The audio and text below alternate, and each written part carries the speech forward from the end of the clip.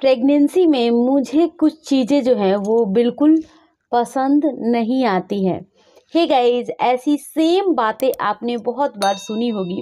Pregnancy में ये चीज़ें बहुत कॉमन माना जाता है। वीडियो के अंदर मैं तीन पॉइंट के ऊपर डिस्कस करूँगी। पहला ये होगा कि प्रेगनेंसी में खाने पीने से रिलेटेड फ़ूड आइटम्स मीठा, नमकीन, तीखा और खट्टी चीज़ों से रिलेटेड बातें करूँगी। दूसरा पॉइंट होगा कि एक महिला के मूड में अचानक से क्या परिवर्तन आते हैं। थर्ड पॉइंट होने वाला है आपके वज़न वेट लॉस या वेट गेन से रिलेटेड कंप्लीट में बातें करूँगी। इनमें से कुछ चीज़ें आपको पसंद आएगी, कुछ चीज़ें बिल्कुल भी पसंद नहीं आएगी। जो भी आपका आंसर होगा, ज़रूर कमेंट कीजिएगा मैं आप सबका इंतज़ार कर रही हूँ। हे गाइज़ मैं आप सबके साथ श्वेता और आप देख रहे हैं प्राइम मॉम चैनल पहली बार अगर आए चैनल पे सब्सक्राइब कीजिएगा। गाइज़ वीडियो को लास्ट तक वॉच कीजिएगा। यहाँ से आप एक सटीक इन्फॉर्मेशन लेकर जाएँगे। वीडियो में नापसंद वाली चीज़ें जो है, उसे भी मैं बताऊँगी क्योंकि ओल्ड वाइफ्स ने ये कनेक्शन बताए हैं और सच भी माना जाता है इसे। तो चलिए यहाँ पे बात करते हैं फ़र्स्ट पॉइंट के ऊपर। हमारे फ़ूड आइटम से रिलेटेड कभी किसी महिला को प्रेगनेंसी के अंदर मीठी चीज़ें पसंद आती है। कभी नमकीन, कभी तीखी और कभी कभी समटाइम्स इवनिंग के समय में खट्टी चीज़ें। ऐसा क्यों होता है? बहुत ही सीधा और सिंपल सा आंसर है। ओल्ड वाइफ्स ने बताया था कि मीठा खाने का जो कनेक्शन है, वो लगभग बहुत सारी महिलाओं में सच होती है चीज़ें। हालाँकि ये पॉइंट मुझमें सच थी, लेकिन यहाँ एक बार हम फैक्ट के ऊपर जान लेते हैं ये चीज़ें।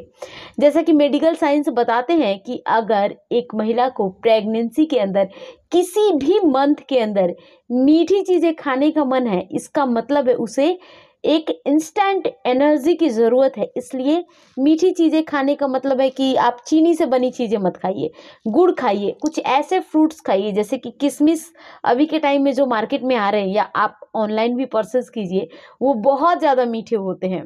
मतलब कि ऐसे लगे कि चीनी और जो कह सकते हैं कि किशमिश होती है, उसमें ज़्यादा फ़र्क समझ में नहीं आता। है इतनी मीठी अभी के टाइम में किशमिश आ रही है। अब फिर से बात करते हैं इस चीज़ के ऊपर कि नमकीन या तीखी चीज़ें खाने का कब मन करता है। जब आपके शरीर के अंदर सोडियम की कमी होती है, तब ये चीज़ें होती है। तो डेफिनेटली आप खाइए, बस कोशिश कीजिए तेल और मसाले वाली चीज़ें कम से कम लें। फिर से बात करते हैं विटामिन सी जो होती है, वो खट्टे फ़ूड आइटम्स के अंदर होती है। तो आप वो चीज़ें भी जैसे कि सीज़न के अनुसार से जो मार्केट में हमारे लोकल नज़दीक बाज़ार में जो फ्रूट्स मिलते हैं, वो आप लीजिए। बहुत ही हेल्दी होते हैं बच्चे के लिए। अब बात करते हैं सेकंड पॉइंट के ऊपर, और ये पॉइंट होने वाला है, इससे से रिलेटेड कि ऐसा क्यों होता है प्रेग्नेंट लेडी के साथ कि कभी कभी जब वो चीज़ों को लेकर बहुत ज़्यादा सीरियस होती है, सुबह जब सोकर उठती है तो एक मॉर्निंग सीकनेस, एक ऐसी थकान, जैसे ऐसा लगे कि कल पूरे दिन आपने कितना काम किया, या दो चार पाँच किलोमीटर आप पैदल चले हो इस तरीके से एक थकान सुबह सुबह महसूस होना, इसे मॉर्निंग सिकनेस कहते हैं। ये बिल्कुल नॉर्मल है। लगभग नाइन्टी परसेंट महिलाएँ मॉर्निंग सिकनेस को प्रेगनेंसी में एक्सपीरियंस करती हैं और इससे आपकी प्रेगनेंसी हेल्दी जा रही है, घबराने की ज़रूरत नहीं है। अब फिर से बात करते हैं थर्ड पॉइंट के ऊपर और वो है वेट गेन से रिलेटेड अगर प्रेगनेंसी के अंदर डे बाई डे आप वेट गेन कर रही हैं इसका मतलब साफ़ साफ़ ये है कि बच्चा स्वस्थ है प्रेगनेंसी हेल्दी है।